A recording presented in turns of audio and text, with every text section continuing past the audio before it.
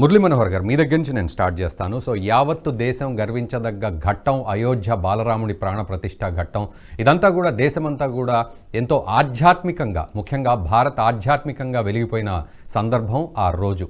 అటువంటి తరుణంలో సాధు సంతువులు వచ్చారు తర్వాత సెలబ్రిటీస్ అందరూ వచ్చారు ముఖ్యంగా క్రికెటర్స్ సినిమా యాక్టర్లు వీళ్ళంతా కూడా వచ్చారు. సామాన్య ప్రజలు కూడా అన్ని చోట్ల దేశం మొత్తంలో స్క్రీన్స్ చూస్తూ కూడా వాళ్ళు ఈ యొక్క కార్యక్రమాన్ని ఎంతో చక్కగా తిలకించి ఆనందించి ఉప్పొంగిపోయిన సందర్భం. ఇదంతా ఒక ఎత్తు అయితే ఇండి కూటమి నేతలు మాత్రం రకరకాల ప్రోగ్రాంలు పెట్టుకుని వాళ్ళు అందులో బిజీ అవ్వడం మరి దీన్ని ఏ విధంగా అర్థం చేసుకోవాలి? రెండు వైపుల్ని ఏ విధంగా అర్థం చేసుకోవాలి? నమస్తే అండి. ఆ, ఆ, నేషనల్ హబ్ ప్రేక్షకులకు అందరికి నమస్తే. ఆ, మీరు అన్నట్టుగా ఇరవై రెండవ తేదీ ఆ, దేశం పులకించిపోయింది. హిందువులు నిజంగా కూడా ఒక ఉద్విగ్న వాతావరణము ఆ, కళ్ళల్లో నీళ్ళు కనపడ్డాయి. ఆ క్షణంలో పర్టికులర్గా ఆ విగ్రహ ప్రతిష్ట జరుగుతున్నటువంటి సమయంలో అనేక మంది సెలబ్రిటీస్ అక్కడ ఉన్న వాళ్ళు టీవీలో చూస్తుంటే. ఆ ఏడుస్తా ఉన్నారు. కామన్ మ్యాన్ కూడా టీవీలో కనిపిస్తున్నారు. దేశం అంతా కూడా. అందరు కూడా ఆ క్షణంలో తమను తాము మైమరిచిపోయి రాముడిలో తమను చూసుకునేటువంటి ఒక ఒక ఉద్విగ్నమైనటువంటి ఒక ఎమోషనల్ పిక్చర్ మనం చూసాం. హ్మ్. అయితే నేను దీన్ని ఏమంటున్నాను అంటే రాజు గారు ఇది ఊరంతా ఒక దారి ఉలిపి కట్టేది ఒక దారి అని అదో సామెత ఉండేది అట్లా దేశ ప్రజలందరూ ఒక వైపు ఉంటే రాజకీయ పార్టీలన్నీ కూడా ఇంకో వైపు ఉన్నాయి. ఒక్క బీజేపీ తప్ప ఇందులో సంపూర్ణంగా పాల్గొన్న పార్టీ బీజేపీ. మిగతా పార్టీలు అన్నీ కూడా చాలా రియాక్షన్స్ గమ్మత్తైనటువంటి రియాక్షన్స్. ఒకటి ఏమో డిఎంకే అండ్ లెఫ్ట్ ఏమో మేము హిందూ వ్యతిరేకులమే అని చెప్పడానికి ఎక్కడ సంకోచించరు. వాళ్ళ యాక్షన్స్ అన్ని అలాగే ఉన్నాయి. హిందువులు టీవీ లైవ్ టెలికాస్ట్ చేసుకుంటే వాటిని ఆపడము హిందూ దేవాలయాల్లో కూడా పూజలు జరపకుండా ఆపడము. ప్రభుత్వమే స్వయంగా హిందువులను అడ్డుకునేటువంటి ప్రయత్నం ప్రత్యేకంగా కోర్టుకు వెళ్ళి పర్మిషన్స్ తెచ్చుకోవాల్సిన దుస్థితి బీజేపీ వాళ్ళకు కానీ హిందువులకు కానీ తమిళనాడులో అటువంటి ఒక పరిస్థితి ఏర్పడ్డది. తర్వాత లెఫ్ట్ పార్టీలు కేరళ ఇక్కడ అంత దుర్మార్గంగా వ్యవహరించకపోయినా. తాము మాత్రము దూరంగా ఉన్నారు. రాముడితో మాకు సంబంధమే లేని లేదు అన్నట్టుగానే ప్రదర్శించారు. ఇది చాలా స్పష్టంగా ఉన్నది. కానీ. మిగిలిన పార్టీలు ఏవైతే ఉన్నాయో కాంగ్రెస్ అయితే పర్టికులర్గా ఓపెన్గా డిక్లేర్ చేసింది ఈ పార్టీతో మాకు సంబంధం లేదు మేము ఇందులో పాల్గొనేది లేదు. ఇది బీజేపీ ఆర్ఎస్ఎస్ కార్యక్రమము ఇది రాజకీయమైనటువంటి కార్యక్రమం. అని పబ్లిక్గా ప్రకటన చేసింది. ప్రకటన అయితే చేసింది కానీ Hmm. వ్యవహారంలో ఆ విధంగా ఉండలేదు.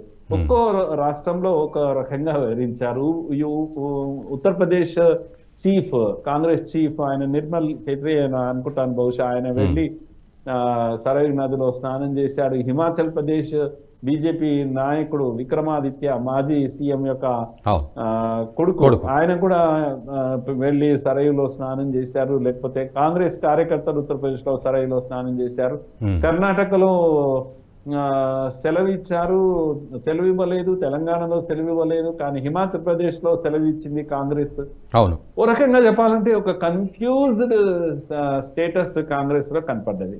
కాంగ్రెస్ లీడర్షిప్ చెప్తున్నది ఒకటి క్యాడర్ చేస్తున్నది ఇంకొకటి. ఎగ్జాక్ట్లీ ఆ విధంగా దేవాలయాలు వేల దేవాలయాల్లో పూజలు చేయమని చెప్పేసి కర్ణాటక ప్రభుత్వం ముఖ్యమంత్రి చెప్తాడు.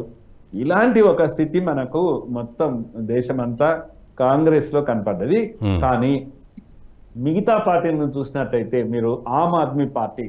పెద్ద ఎత్తున ప్రదర్శించుకున్నది మేమే మమ్మల్ని మించిన రామభక్తులు లేరు అని హోమాలు అవి అన్ని తలపెట్టి ఆ ఆ విధంగా ఆయన వ్యవహరించాడు.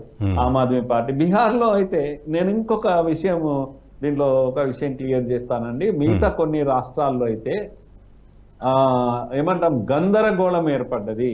ఒక రకమైన అంటే destabilisation of few state governments కూడా ఇందులో జరిగింది. దీని వివరాలకు మళ్ళా వెళ్దాం మనము. ఆ విధంగా ఇది anti Ayodhya anti Hindu stand తీసుకున్నటువంటి ప్రభుత్వాలకు కాస్తంత దెబ్బతిన్నట్టుగా కనపడ్డది. అది కూడా నేను ఒక కామెంట్ చేస్తున్నాను. ఆ విధంగా ఒక రకంగా చెప్పాలంటే కన్ఫ్యూజన్ మాత్రం ఏర్పడ్డది. ఆమ్ ఆద్మీ పార్టీ ఒకలాగా మమతా బెనర్జీ మాత్రం తీవ్రంగా కేవలం ఓట్ బ్యాంక్ రాజకీయాలు ప్లే చేసింది. మేము అవన్నీ అన్ని పార్టీలను కలిపి అన్ని మతాలను కలిపి సర్వమత సభలు అంటూ చెప్పేసి ఏదో ఒక షో మాత్రం. ఆమె చేసింది హిందువులకు బాగా అర్థమైంది మీకు ఏం కావాలి అనేది.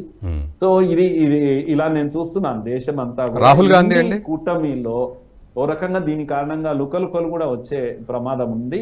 అయోధ్య అయోధ్య కే దేశ రాజకీయాలనే పూర్తిగా ఏమంటాము డీస్టెబిలైజ్ చేసేటువంటి ఒక పరిస్థితి ఏర్పడ్డది. మురళీ మనోహర్ గారు రాహుల్ గాంధీ పరిస్థితి ఏ విధంగా ఉండింది నిన్న? రాహుల్ గాంధీ కూడా ఒక షో చేశాడు కదా పాపం ఆయన వెళ్ళి అక్కడ నార్త్ ఈస్ట్లో ఆ, దేవాలయాలకు వెళ్ళే ప్రయత్నం చేశారు. అక్కడ వాళ్ళేమో ఆపేశారు ఎలా వస్తామని చెప్పేసి. సో దేవుడు ఏంది మోడీ పర్మిషన్ ఇస్తేనే దేవుడి దర్శనం లభిస్తుందా మాకు అనేటువంటి ఒక పోజ్ అయితే పెట్టారు. కానీ ఏమంటాం రెంటికి చెడిన రేవణ్యలు అని అంటే ఇదే అంటారు కాంగ్రెస్ యొక్క పరిస్థితి. నా ఘర్కా నా ఘాట్కా అనేటువంటి ఒక దుస్థితి కాంగ్రెస్కి ఏర్పడ్డది. వినోద్ గారు సో దీన్ని ఎలా డీకోడ్ చేస్తారంటే ఈ వైవిధ్యం అంటే అసలు అసలు కార్యక్రమాన్ని వదిలేసి మొత్తం దేశవ్యాప్తంగా వైవిధ్యంగా ఎవరికి వాళ్ళు పర్ఫామ్ చేయడం అనేది మరి ఎలా డీకోడ్ చేయాలి? ప్రజలు కూడా ఎలా అర్థం చేసుకోవాలి? ప్రజలకు అర్థమైపోయింది. అంటే వీళ్ళు రాముణ్ణి వదిలిపెట్టి ఉండలేరు ఉండి బ్రతకలేరు. అందుకని ఇవన్నీ చేస్తున్నారు. ఎందుకంటే హిందువులను ప్లీజ్ చేయడానికి చేసిన కార్యక్రమాలు ఏదైతే రాముడిపై భక్తితో కానీ ప్రేమతో కానీ ఐదు వందల ఏళ్ళ చరిత్రను రికగ్నైజ్ చేసినట్టు గాని ఓకే. నా- కనుక ఒక పరిష్కారం లభించింది అనేటువంటి ఒక ఆనందం కానీ ఈ పార్టీలో లేదు. ఈ పార్టీలు కేవలం పొలిటికల్ జిమిక్స్ చేస్తున్నాయి పొలిటికల్ ఇవి చేస్తున్నాయి ఓటు కోసం ఈ డ్రామాలన్నీ చేస్తున్నాయి. హోమం చేసే కేజ్రీవాల్లో భక్తి లేదు రాముడి పట్ల. లేకపోతే ఆ, విధంగా దేవాలయాలకు వెళ్ళి పరిగెత్తుతున్నటువంటి కాంగ్రెస్ నాయకులకు శ్రద్ధ లేదు భక్తి లేదు. అనేది ప్రజలు అంత అమాయకంగా లేరు. ప్రజలు చూస్తున్నారు అన్ని గమనిస్తున్నారు ఇవన్నీ నాటకాలు వీధి నాటకాలుగా వాళ్ళు గమనించారు. ఈ వీడియో మీకు నచ్చినట్టయితే లైక్ చేయండి పది మందికి షేర్ చేయండి అలాగే కామెంట్ల రూపంలో మీ అభిప్రాయాలను మాతో పంచుకోండి. నేషనలిస్ట్ హబ్ గ్రూప్ ఆఫ్ ఛానల్స్ను సబ్స్క్రైబ్ చేసుకుని తెలుగునాట జాతీయవాద జర్నలిజాన్ని ప్రోత్సహించండి. ఈ వీడియో కింద ఉన్న బెల్ ఐకాన్ పై క్లిక్ చేయడం మర్చిపోవద్దు.